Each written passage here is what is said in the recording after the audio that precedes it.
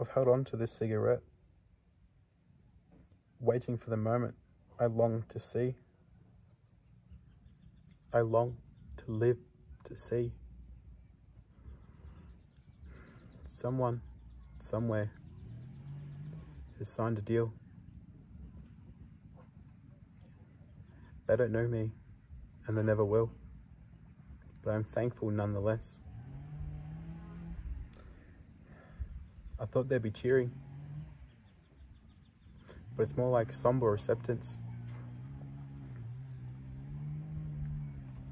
Some are quietly crying as a wash of emotions engulf them.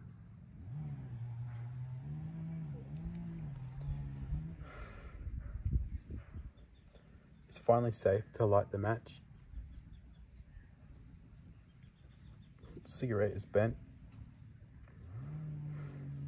As if, as if it's been weighed down by the war itself.